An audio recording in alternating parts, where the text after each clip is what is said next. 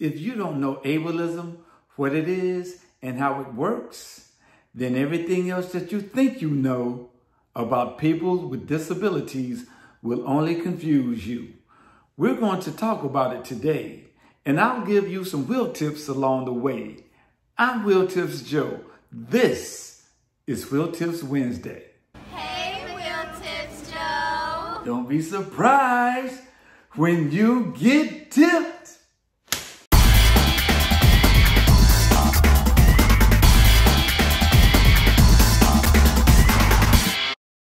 If you are new to our channel, you'll discover that we give wheelchair tips about the wheelchair lifestyle and the disability culture. I'm a subject matter expert with 43 years experience living the wheelchair life with 20 years in my career. I made this video because people have been asking for it. I hope you find it useful. This video message is intended to stimulate your mind to recognize ableism when you see it. Become encouraged enough to take action in disability awareness and inclusion. And be mindful that people with disabilities are differently able. So let's look at ways in which we all can adapt. My aim is to give you another perspective so you can make a difference in this world. Ableism comes in many forms, such as institutionalized ableism, non-institutionalized ableism, and internalized ableism. But today, we're going to focus on ableism, personal prejudice, and negligence. Wheel tip. Ableism is more than just discrimination and personal prejudice against disabled people in favor of able-bodied people. Ableism is the conscious, unconscious, intentional, unintentional actions that able-bodied people do against people with disabilities in an attempt to devalue their worth. Wheel tip, always remember that a person with a disability has self-worth as a human being. So please, don't be an ableist. I want you to see ableism through my eyes. Let's look at a few scenarios from my experiences to show you how ableism works. I have been in line at the checkout counters in stores and other places where there were long wait times and people were impatient and an able-bodied person has jumped in front of me and tried to play it off like they didn't even see me in line waiting too. Several times I had to say to them that the line starts behind me. I know I may be short because I use a wheelchair, but I deserve the same common courtesy and respect just like everyone else. Not only has this happened to me, but this has happened to my friends who have disabilities too. I remember when I've been ignored or forgotten about by the salesperson when I've gone into stores to buy something or to get service. Sometimes the salesperson would later tell me that they forgot about me. But I know they ignored me because they would ask to help an able-bodied person who came in after I did. And I would have to speak up to let them know that I was here before them and I should be next. That's how ableism works. It made me feel like I was invisible.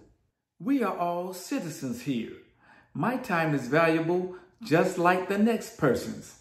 I deserve excellent customer service too.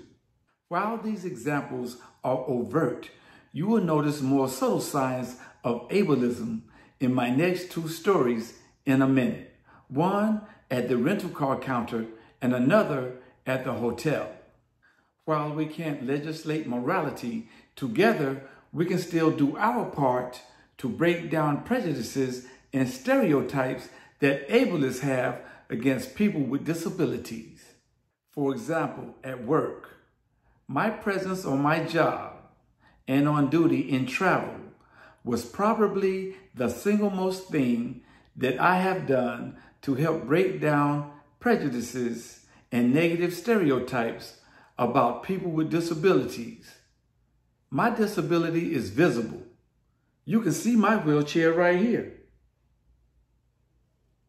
Once upon a time, when I was on travel, two colleagues and I were standing at the rental car counter, and the agent asked my colleague, can they help him?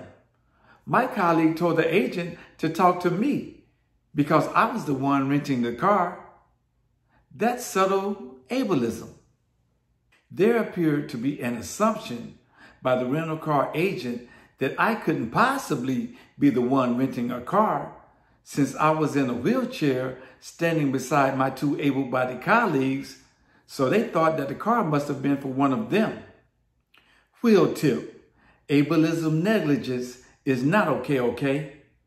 In my experiences, oftentimes people with disabilities get no consideration from ableists who are unconcerned, insensible, or unaffected by a request for a reasonable accommodation or help with a special need and appear to blow it off because it has happened to me. I remember when I experienced negligence at the hotel check-in counter. Often, I would be the last of my colleagues to get a room key. Sometimes I would be waiting for hours because the hotel didn't have an accessible room ready for me when I got there, even though that I had made reservations months in advance and even checked weeks and days before I arrived so there wouldn't be any problems when I got there in person. But there were problems many times and delays that made me wait to be accommodated. At other times, I was forced to accept the next available non-wheelchair accessible room. I had to work around architectural barriers just so I would have a place to stay the night. Many times, I couldn't take a shower or a bath because the door was too narrow for my wheelchair to pass through it.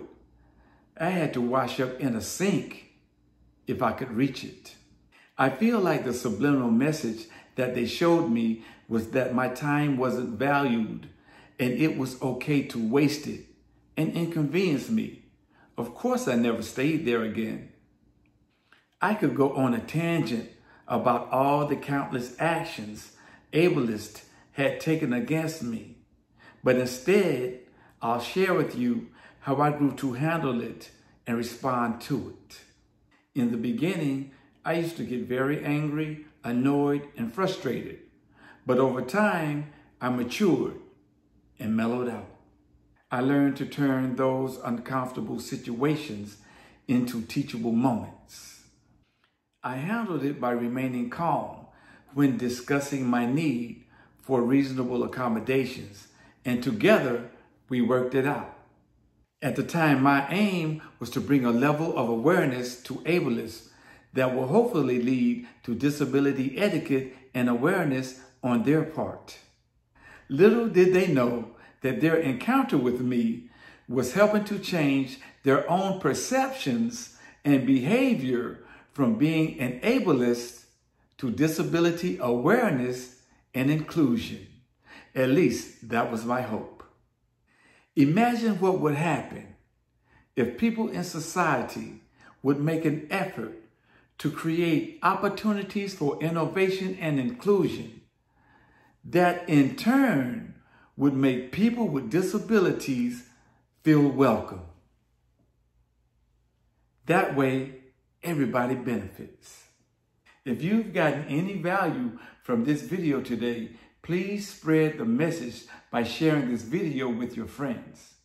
And click like and write a comment and smash the subscribe button and let me know what videos you would like to see us do for you in the future and we'll get it done. You have just been tipped by Wheel Tips Joe.